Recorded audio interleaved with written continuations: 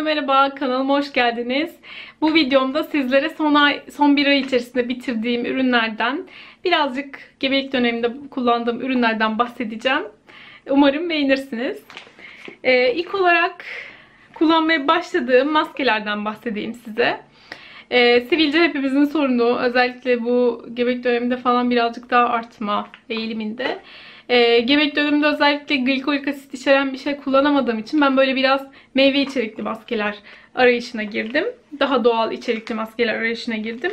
Bunlardan ise iki e, deneyimlediğim uygun fiyatlı hatta Instagram'da da Cemre'nin çok çok paylaştığı iki maskeden bahsetmek istiyorum. Bunlar Watsons'ta 3,5 liraya bulabileceğiniz maskeler. İkisi de çamur maskesi. Bir tanesi salatalık özlü, bir tanesi limon özlü. Özellikle şu limon özlü olan çamur yapısında işte dediğim gibi 15 dakika bekletiyorsunuz kuruyor. Çamur gibi cildinizde böyle bir gerilme hissi yaratıyor. Ardından yıkıyorsunuz. Gözenekleri çok güzel temizliyor. Sivilceleri tamamen temiz, temizliyor. Yani hemen yok etmiyor ama gerçekten o sivilcenin aktivitesini azaltıyor. Ertesi günde o sivilcenin aktivitesinin azaldığını görebiliyorsunuz. Diğeri ise salatalık maskesi. Ee, bunun da Watsons'la bu limon maskesini ararken yan yana bunu görünce ee, bunu da deneyimlemek istedim. Bu da hafif serinlik veriyor. Cildi ferahlatıyor ve gözenekleri çok güzel temizliyor. Bu iki üründen de çok memnun kaldım. Bundan sonra da almaya devam edeceğim. Zaten ürünün içinde çok fazla olduğu için bir seferde iki kez kullanıyorsunuz. Yani bir paketi iki kez kullanabiliyorsunuz. Yarısını e, ben genelde yarım kalmış bir kreme kabına koyup bir dahaki sefere kullanıyorum. Çünkü çok fazla ürün çıkıyor içinden. Tek bir sefer için çok fazla. Ee, diğer maske ise L'Occitane'ın bir maskesi. Bunu Instagram'da da paylaşmıştım. Ee, Rebalancing Face Mask diye geçiyor. Şöyle. Yeşil çay içerikli bir maske. Özellikle benim maskelerde sevmediğim şey yıkadıktan sonra cildimde hassasiyet, kuruma ve sonrasında da sivilcelenmeye sebep olabiliyor bazı maskeler. Bu maske e, cildinizde çok güzel ferahlatıyor Gözenekleri hafif sıkılaştırma etkisi de var ama hani onu gözle görebilmek e, hemen sonrasında evet mümkün ama devam etmiyor uzun süre.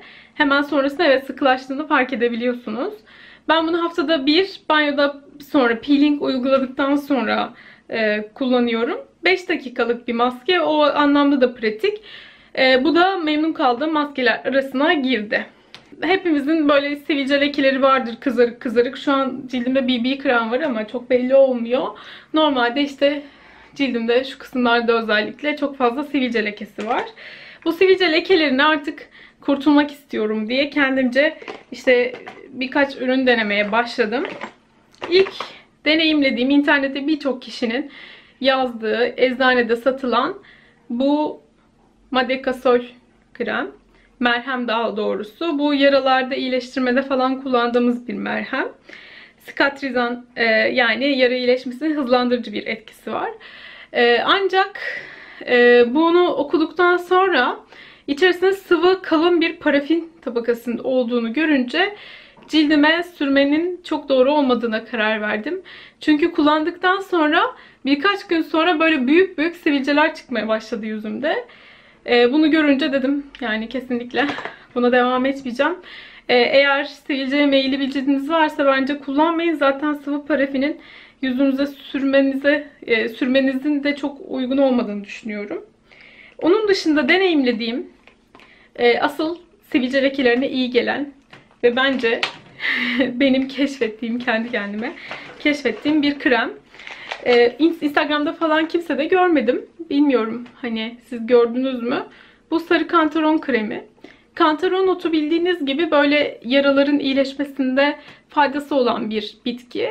Özellikle yara iyileşmesinde son zamanlarda bayağı popüler olmaya başladı. Birçok şeye faydası olduğu söyleniyor. Artık oranın bitkisel e, kısmına girer. O konuda çok bir bilgim yok ama ben de bunu görünce deneyimlemek istedim. Paraben ve pek içermeyen e, bir e, krem.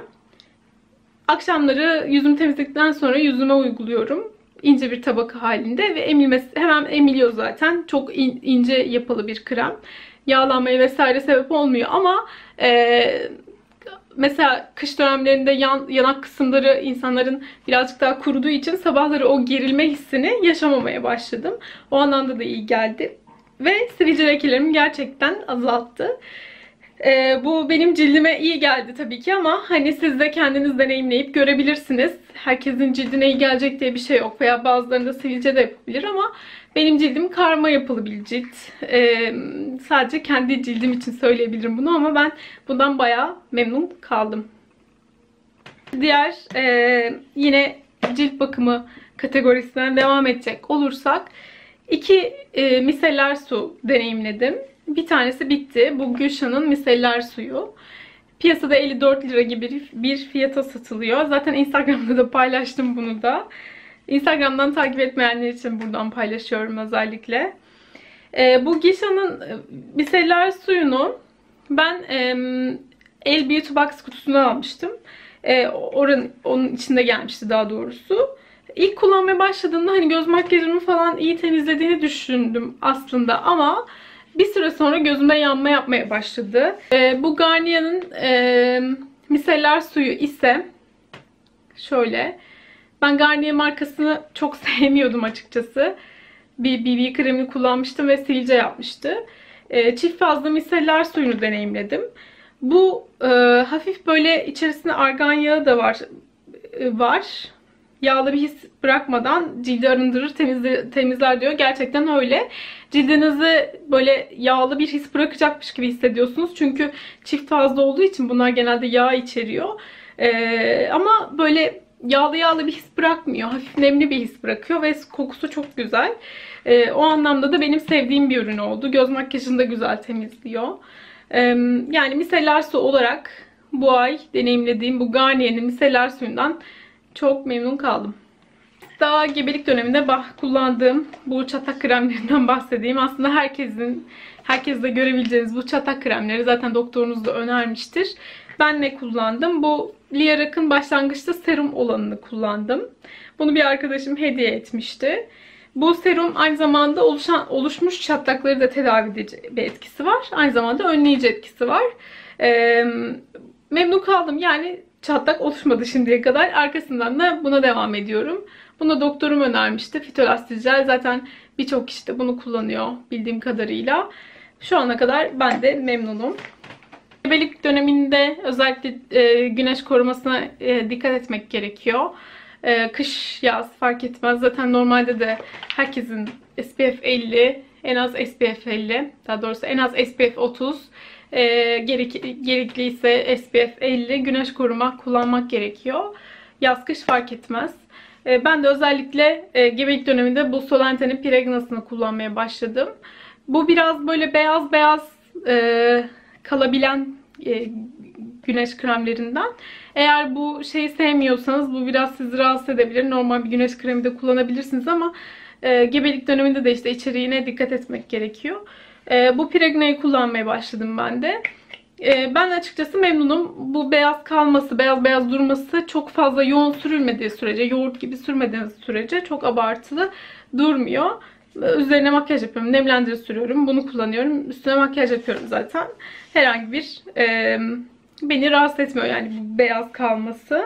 Daha deneyimlediğim iki üründen daha bahsedip bu favoriler videosunu bitireceğim. Bir tanesi de bu L'Oreal'in yakın zamanda çıkarmış olduğu şeker peeling serisi. Ben e, besleyici olanını almıştım. Migros'ta indirime girmişti. Ee, ve diğeri de L'Oreal'in Skin Perfection BB kremi açık tonunu almıştım. Ee, bu şeker peelingi gerçekten cildinizi çok güzel nemlendirmekle birlikte e, bu peeling etkisini sağlıyor. İçerisinde şeker, e, kokonat yağı ve kakao var. Çok güzel bir kokusu var. Normalde şekeri alıp yüzünüze sürseniz o büyük partiküller yüzünüzde çizikler yapabilir. Ama bu daha ince partiküller halinde olduğu için cildinizi daha güzel e, da, nasıl diyeyim daha çizmeden e, temizliyor bence. E, ben bundan şu an için çok memnun kaldım. Bu cildimde oluşan e, hassasiyeti hem engelliyor yani peelingle birlikte oluşabilecek olan hassasiyeti engelliyor. Çünkü içerisinde kokonat yağı var. Hem de hafif bir nemlendirme hissiyle güzel nemli bir bitiş sağlıyor. Ee, onun dışında da diğer denediğim BB krem. L'Oreal'in Skin Perfection BB kremi. Açıkçası bundan hiç memnun kalmadım. Çünkü kullandığım BB kremler arasında en e, kapatmayanı diyebilirim. Yani hiç sürmeseniz daha iyi. Daha çok bir renkli nemlendirici gibi.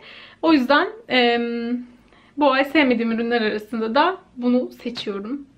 Ve videoyu burada bitiriyorum. Umarım e, videomu beğenmişsinizdir. Umarım keyifli vakit geçirmişsinizdir. Bir sonraki videoda görüşmek üzere. Hoşçakalın.